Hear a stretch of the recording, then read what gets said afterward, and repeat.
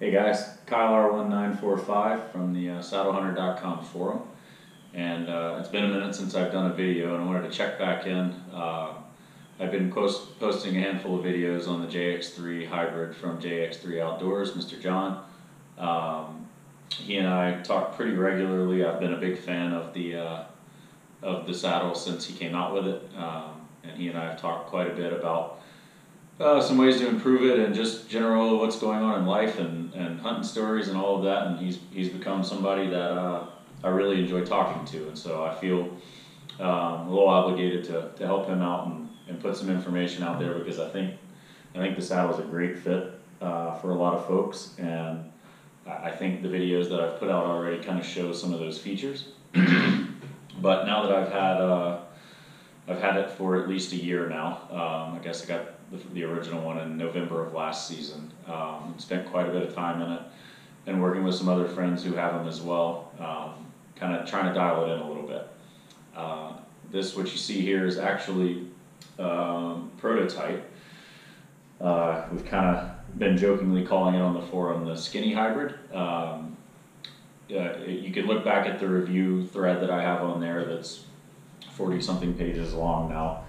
And I really had one singular complaint about it, and it's just being kind of a narrow person um, walking through thick cover.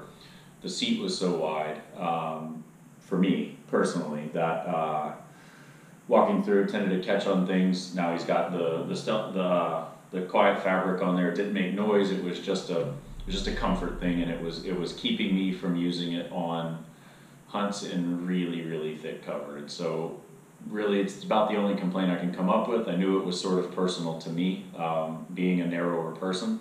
Um, but we started to suspect as well, some people having trouble with shooting um, may have been shorter folks, excuse me, um, where that wide seat, even though they were they were wider, it, it puts the starting point of the uh, of the the harness a little wider, and so trying to get over the top of that if you're a shorter person potentially could be a problem. So we um, we talked it through, and and John actually put together a couple prototypes with a, an 18 inch wide seat instead of the 20 inch wide seat.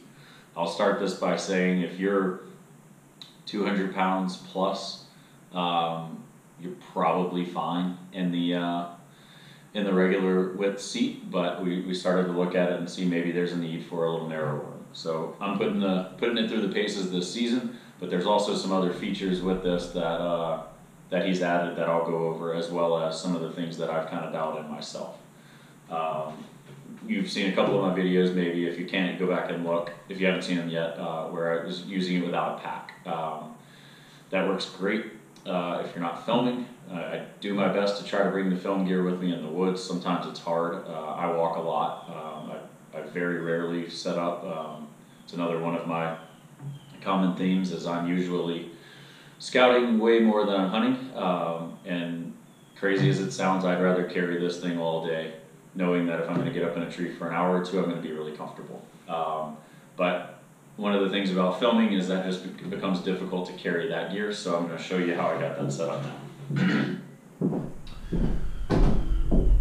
All right. Um, for those of you who were asking about what to do with um, Dano's squirrel steps, as you can see, I kept these with a Nite Ize gear tie, just looped right on the, the right belt, and so they sit on my hip right there. They're quiet, they don't make any noise, they don't bang around. Um, but some guys were asking how to silence them. Um, show you how I've done it. I've been using the, uh, the vet tape, just the cheap camo form, the camo wrap tape.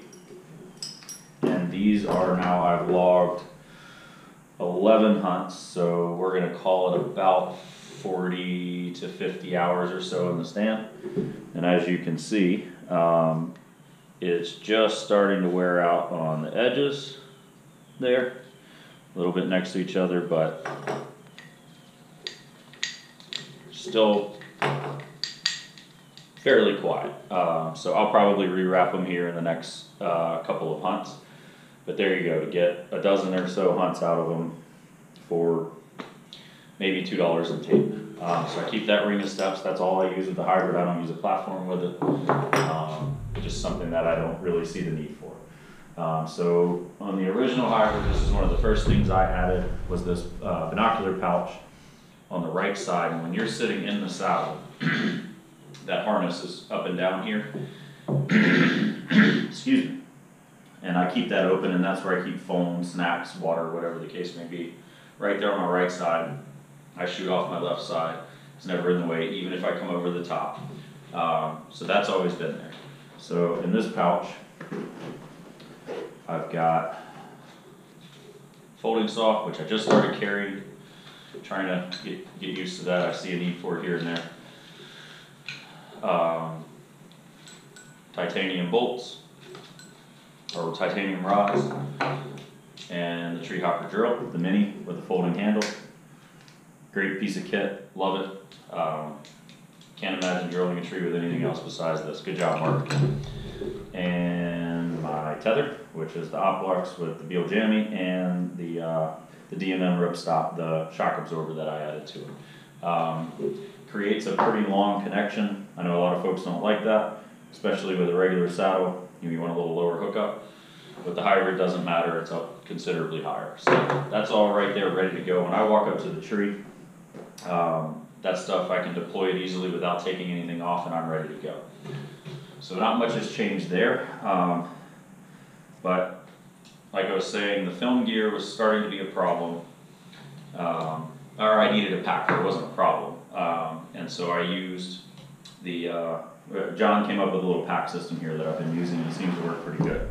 So another feature that he's added, you can see right here, um, he's added two additional spikes or forks on the fork plate that was originally there. So your fork adjusts in and out. But those are nice as you turn on the fork and you get right to the end of where that fork's gonna come out the tree. These would kind of catch and take over and it allows you to keep tighter to the tree and keep that rotation going. Uh, they also help a lot for packing um, by keeping these straps right here. Um, I've been looking at the out on a limb, uh, the the rotating sticks that that uh, Matt has come up with, and this helps them pack really good, which I'll show you guys in another video, I'm sure. So, um, taking those down. Um, Doyle's bow hoist still here, um, and as you can see, there's a little pack here. Now, the modification that's been made to it is this little this little open pouch here. You take it or leave it. You know, it's kind of a it's a neat little place to store stuff. But this bag um, goes on the, the hook up here that normally would hook the seat up. Um, there's a little loop that John has sewn into that bag, and then down here in each corner are the little uh, quick plastic clip uh, D-shaped loops that can go on the saddle, and just a piece of shock cord there and there. And what that does is when you're sitting in the hybrid, you've got this bag on your back, it keeps it tight to the frame. One of the problems is as you're reclining, that bag would want to rotate back if it was just hanging up here, but this keeps it tight on either side. So um, as you're climbing, if you were to have the seat down, or while you're sitting and you haven't yet gotten into it, or you want to leave it back there, um, that's a great way to do it. But you can reach right here behind your hip and unclip those. Um, and now the bottom of the bag is free. Um, and sitting in the hybrid, uh, if you flip your shoulder straps back, I can turn around, grab these loops that he's sewn on here, on either side, and pull this bag off the frame. And come around my side, and now I've got it in front of me. Um, it's a real simple pack, no backpack straps or anything on it. Um, I have added, this is my camera pouch, um, I either carry this on my waist or on this bag, it works great here because it's all in one place. Um, again, I don't have a ton of accessories, but this is my, uh, this is my new camera arm base, which again, I probably need to do a video showing that. This is maybe the fourth hunt, I've, I've used it about four hunts and it seems to be working pretty good.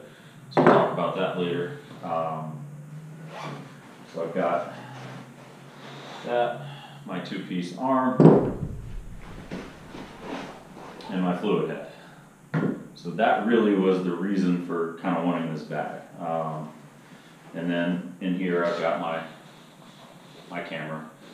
Um, and the VariZoom, all that's in this pouch. I've got my extra phone charger, charging brick, license, everything kinda goes in there. Um, in this small bag though, spare headlight, knife, uh, Leatherman, got some Benadryl, Aleve, Tylenol, cold and sinus, stuff like that. It's everything in there. Everything out of the big bag, and then best feature here, um, the other issue was water. How to carry a, a bladder, I tried putting it in between the frame and the mesh, that didn't work, it would get hot from your back, or if it was cold, freeze you. Um, just wasn't quite enough room for a- a bladder in there. Had ways to attach a water bottle, just, it never really worked very good. So, um, there's just a Velcro slot in the back of here. And two liter, uh, well, go ahead and take it off the right way. Two liter water bag, works great. You can flip that over your shoulder, um, and then just stuff this right behind you while you're sitting. And it's there, or if you pull the whole bag around you, now it's on the tree. You can have the hose sitting right there, it's nice and easy. Um, so typically what I've been doing as I get in the tree, um, I take the bag off once I'm set up. I set my bow hook, set the bag on my bow hook. Um, go ahead and get my camera arm set on the tree. And then inside the bag, I've got another hook that I'll hang the pack on, screw that one in, drop the bag on the hook, pull my bow up, put it on, and I'm ready to hunt. Um, I, I will typically leave the bag on the tree because it's so small, um, I can get it out of my way. Excuse me, let me turn that off. Um, but it's just as easy to go ahead and hang it back on the back, and then again, those little shock cord loops, loop them in there, click it, and now the bag stays tight to the frame. It's not flopping around, it's not hanging out, getting in the way. Um, so this is a pretty cool little system, I'm not sure when or if John's gonna offer this as a, something that comes standard on the hybrid, you just pay a few bucks more, or if he's gonna do it kind of as options. But this little bag works great, I DIY'd one myself, um, I just took a small cheap Allen, um, uh, regular backpack and cut the straps off and basically came up with the same design. But this little bag with the built-in water bladder holder, everything's already done, it's a quick, easy way to, to get things in there, it's the perfect size, if you're not filming, man, you can fit pretty much anything you need. Um, the best part about it, which I've kinda got it apart here now, but you should still be able to see. Um, with that folded up, you're looking at about eight inches deep from front to back there. And then now the whole thing is only eighteen inches wide. All the sides are covered in that micro suede, uh, material, so nothing makes any noise. Then the other thing that he's added are load lifters, which can come off of the saddle if you don't want them, if you're not using them. They're really easy, they attach right there, pull them up, that's been a huge help, um, with a little extra weight. I haven't carried a deer out yet in it. Um, with, with the load lifters, and then these straps set up are, got the two, uh, vertical straps here, and then a horizontal strap, they've got the G hooks, loosen all that up. Um, I keep game bag in here, got that ready to go, put my game bag in inside these straps, strap everything down, pull it all up.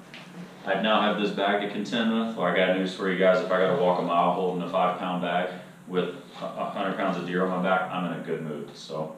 Um, I, I think that'll work just fine.